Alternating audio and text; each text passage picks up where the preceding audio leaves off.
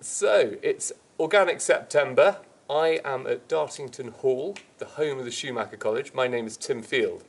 I'm from Daylesford and I'm joined by a founder of uh, the Schumacher College, Satish Kumar. Um, and I, who better to talk about Organic September and what it means to you than a founder of Schumacher College who is and, and who are the pioneers of the organic movement and will hopefully help us transition into a, a bright future. So, Satish, thank you so much for having me down. You are very welcome, and I'm delighted to be a part of Organic September. I'm delighted to be a part of Organic September. It's a wonderful initiative, and I would like to congratulate Daylesford Organic, who are one of the great uh, food producers on organic way and food distributors in organic way. And so it's a wonderful collaboration between Daylesford Organic and Schumacher College. Thank you very much. Thank you. When we last spoke at the Summer Festival last summer, um, we signed a pledge to reduce food waste, and you ended your signature with three dots, and it stuck with me. And you explained that those dots were soil, soul, and society. And I thought, what better way to frame a conversation about an extraordinary year we're having with 2020, but also, of course, uh, the celebration of Organic September. So perhaps um, we'll start with soil. How does organic relate to the soil, and uh, how important is soil in organic? First of all, the soil from which our food comes is in itself or in herself an organism. And because it's an organism, we need to treat it organically and not chemically. Soil is the source of life. Our body is soil transformed. Our food we eat potatoes and cabbages and cauliflowers and wheat and rice and all the fruit, all the vegetables, all the flowers, they are soil transformed. So the most important challenge for humanity is how to treat soil, which we are. Soil and humans are one. They are not separate. We are totally dependent on the soil. We are interconnected and interrelated with the soil. So this connection has to be celebrated, has to be honored, has to be cherished, and has to be cared for. At the moment, many people look at the soil and see it as a, a resource for the economy, a resource for making money and profit. For me, that is a wrong view. Soil is not a resource for the economy. Soil is a source of life itself.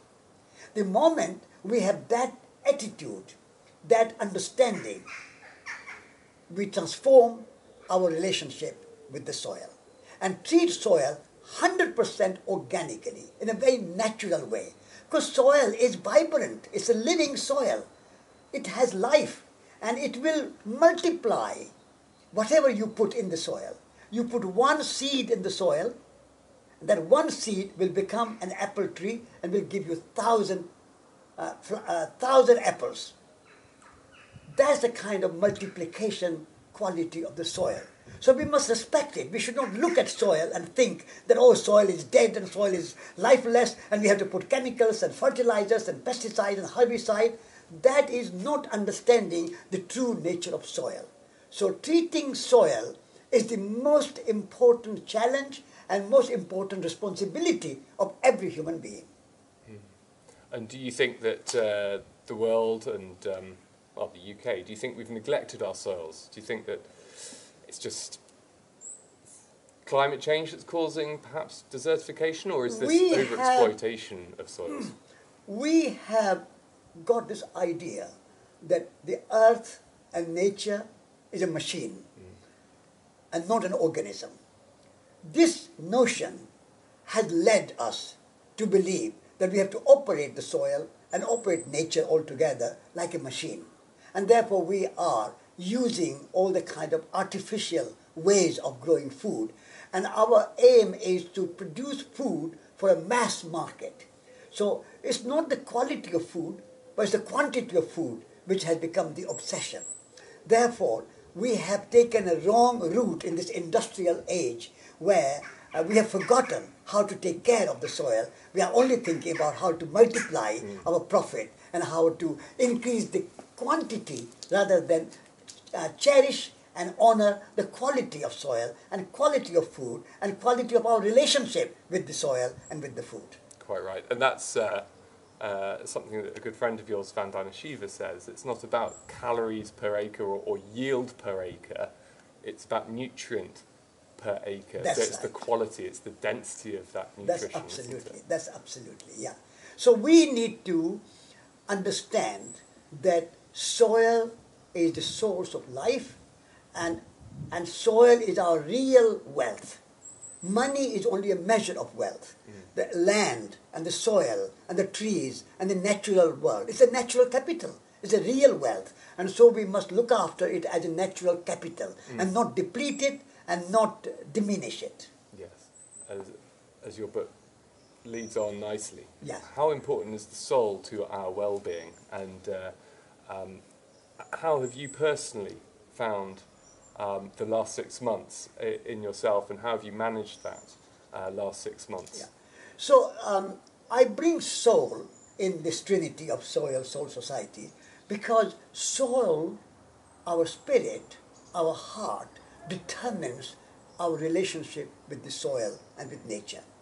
And so, heart qualities and soul qualities are compassion, kindness, respect, generosity, love. These are the soul qualities. And as we cultivate the soil, we also cultivate the soul. So that as in soil, we have apples and oranges and bananas and uh, pears and grain, uh, wheat, rice, uh, potatoes, everything grows from the soil. In the same way, from the soul, we have compassion, kindness, respect, generosity. Uh, all these beautiful qualities grow. And then there's a beauty. Soul qualities and soil qualities come together and produce beauty, art, imagination, culture. Those things come from the soul qualities. Otherwise, you can look at nature as an object mm. and look at the soil as an object and treat it as an object. But that relationship of respect and love and compassion and kindness and generosity and imagination and art and aesthetics and beauty, they don't come by objectification of the soil and of nature. That comes from the subjectification, that we are members of one earth community. And that feeling comes from the soul, comes from our heart. And therefore, I believe that we need to cultivate the soul qualities. And in cultivating soul qualities, we look after ourselves. We, we, as we love soil, we also love ourselves. Loving yourself is not ego.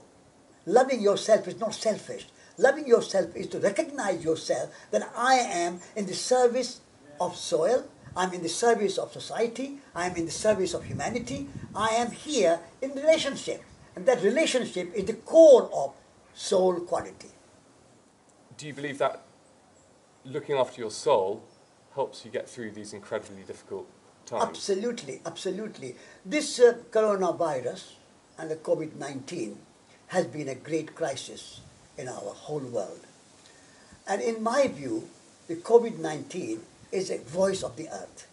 Human nature relationship has not been very healthy and harmonious. We have treated nature as an object, and we have been thinking, the humanity has been thinking for the last 50 to 100 years, that our task is to conquer nature, subjugate nature, and exploit nature for human benefit.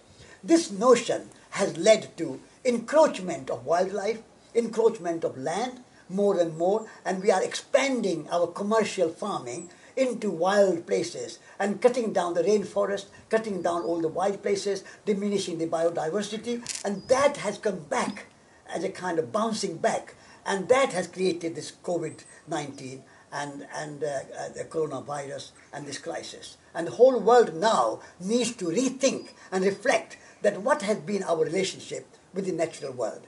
And for me personally, this has been a time for reflection. Almost you can say a spiritual retreat for the last six months, I have been in spiritual retreat. And I have been reflecting and thinking what is human nature relationship and how we can bring back that respect and love for nature and, and treat nature with respect and love and care. And so um, during this time, I've been reading poetry, and I mean Shakespeare. I mean Shakespeare had been saying, "Tongues in trees, books in running brooks, sermons in stones, and good in everything." That's a Shakespeare's teaching. William Blake, I have been reading, and he says, "Nature is imagination itself." And so all these great sort of naturally um, inspiring poets and, and books I have been reading. And also this has been a time for me to garden. My garden has been my solace and my refuge during this six months period. And so I have been also doing a lot of gardening and walking in nature. And when you are in nature, I feel completely at ease, happy, joyful. For me, nature is my religion. Nature is my temple. Nature is my church. Nature is my Bible. Like Shakespeare says, sermons and stones. I don't have to go to any holy book. Nature is holy and sacred. So I have been walking by the sea. I fortunately I live near the Atlantic Ocean uh, in North Devon. So I've been walking along the coast path. So that has been my spiritual retreat. But I also feel that during this time, lots of people have shown their soul qualities mm. generosity, mm. help, mutual aid. Many, many people, and particularly the growers and the farmers, they have been growing food and looking after humanity, looking after the general public by providing the food. So, like the nurses, like the doctors, I would say food growers, farmers, and gardeners are the essential workers, and they have proved to be the essential workers of this critical time of cor- coronavirus time. And, and everything is closed, but the food has to be produced and distributed and eaten. So, uh, so Daylesford Organic Shop has been open, and the farm uh, people have been working on the farm and the garden, and that's everywhere in the world. So I would say that this coronavirus critical time has been also a time for uh, coming out of ourselves and, and looking after each other and feeling a sense of community with people and a community with the uh, Mother Earth, uh, Mother Nature. What advice have you got to uh, those that perhaps are less fortunate, don't have access to the great outdoors, live in the cities? Or I think the, the idea of reading poetry, reading about nature is wonderful. Is there anything that, that you do or you could advise to people to uh, connect with nature from their own inner city living? Is there? Even in the cities, big cities like London, Birmingham, New York, Paris, Tokyo, Beijing, New Delhi, wherever you are, you can grow some plants and vegetables on your roof. You can even have window boxes. You can even have a small garden where you can grow some vegetables or plant some flowers or have an apple tree. Even on the walls, you can have a little greenery and you can put some plants on the wall, mm. a kind of vertical garden. And so, even in the cities, if people are aware, if they have a consciousness, and if they put their attention and focus on being close to nature and respecting nature, they can find ways. And London, for example, it has Hampstead Heath, Richmond Park, Regent's Park, Hyde Park, many, many wonderful parks. I think people should go and volunteer to be gardeners in the parks and look after trees and plant trees and look after water and clean the water. Mm-hmm. Even in the cities, people should volunteer and go in the gardens and in the parks and in the heaths and, and be in nature. Because when we are nature, we are rejuvenated. Yes. Your soul and your imagination and your spirit and your heart is inspired. And without nature, we get depressed and we get very kind of uh, um, uh, narrow and our kind of very mean. All that comes from by being isolated and disconnected. Our connection with nature, our relationship with nature is the most inspiring and most healthy. If you want to be healthy, I'm 84 and I'm in good health because I live in nature and I work in the garden and I walk in nature. So if you want to be healthy and have a good life, be in nature, live close to nature. Even we can go out in nature and walk in nature. Do you think this is the the an opportunity for change in society now that we're starting to think about how societies could work better? Yeah. Is yeah. now an opportunity, do you think? Yeah, absolutely. I think it's a great opportunity. And during the coronavirus crisis, this COVID 19, we have seen how society has come together and how so many people, irrespective of their class, their uh, background, their gender, their um, race, anything, people have come together on mutual aid and help. We have been a little bit too individualistic in the past, and we have been thinking about me, me, me. But this period of crisis has given us an opportunity to move and shift from me culture to we culture. And we culture is the culture of society. We are not just uh, isolated, disconnected, separated individuals pursuing our own path, and that's it. We are social animals, and we have to cultivate good relationship with our fellow human beings, our neighbors, whoever they are, men, women, children, black, white, rich, poor, educated, uneducated, city dwellers, um, uh, rural dwellers, whoever you are, you are human being. You are member of my society. We are one human community. This consciousness has to be remain, has to be cultivated and should remain even after COVID crisis has gone and coronavirus has gone. We should not become too individualistic. Mm. Individual, yes, but individualism is no. Individual in relationship with society and community. That is my ideal. This is why I say soil, soul, society. These three go together. This is my new trinity for our time. Wonderful, wonderful.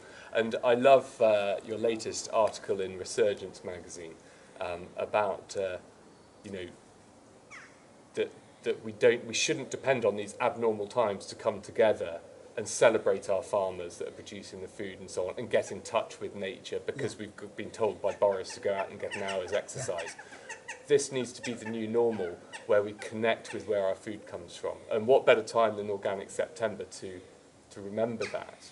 Absolutely. I think Organic September gives us a time to focus on these ideas mm. and see the farmers are the, the crux of life. They are the jewel of our society.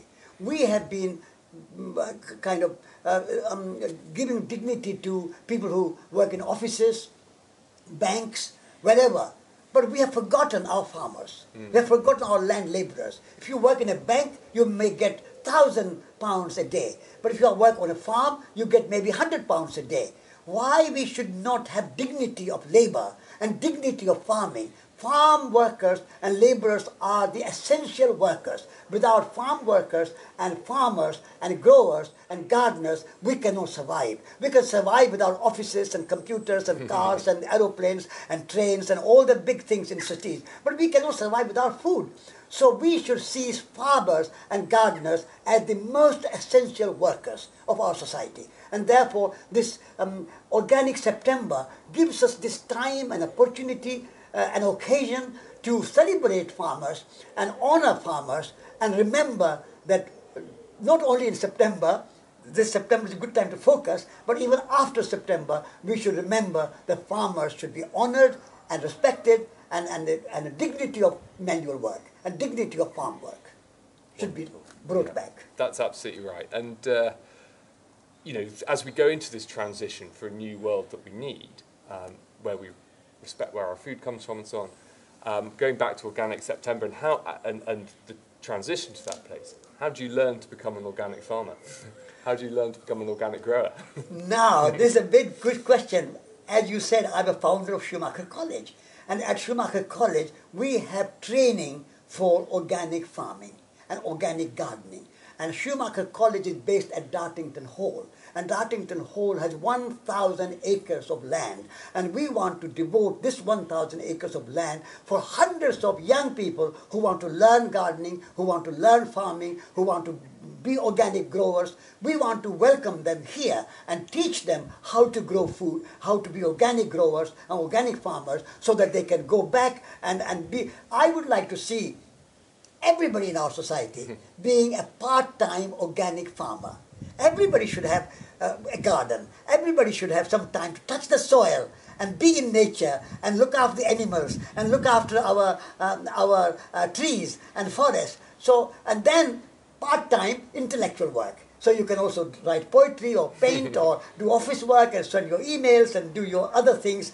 So intellectual work and physical work should be married together and we should not have a divorce that some people are only organic growers and farmers and manual workers and laborers and other people are only office workers. Why not bring those two together? So that'll be my ideal. And at dartington and at schumacher college we are initiating this um, project and we want to transform dartington hall as a learning center.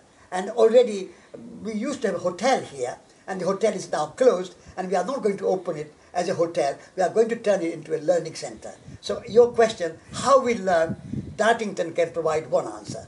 Well, excellent. And of course, come to Daylesford as well with the cookery school courses and, and um, this harvest festival, this uh, organic September, we're doing the usual farm yeah. So that's a wonderful thing. And, and there's where organic people can learn. And there are many other places mm. starting mm. this sort of thing where people can learn. Mm. And so I think that's a wonderful thing. And I would like to congratulate Daylesford Organic for um, flying the flag of organic food and organic growing and, and, and the quality and the beauty and aesthetics. All these things come together at Daylesford uh, Farm and Daylesford Organic. And whenever I come to Daylesford, I am always inspired. Wonderful. Well, we enjoy having you up to, uh, to teach uh, both our staff and our guests at Daylesford. Yes. Um, thank you very much, Satish. Uh, it's been enlightening hearing about uh, your interpretation of organic in soil, soul, and society.